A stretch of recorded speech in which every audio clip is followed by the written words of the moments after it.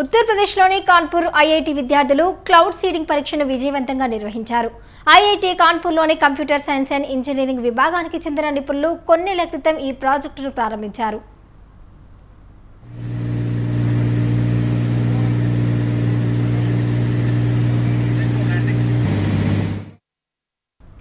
Cloud seeding అనేది ఓ రసాయనిక ప్రక్రియ.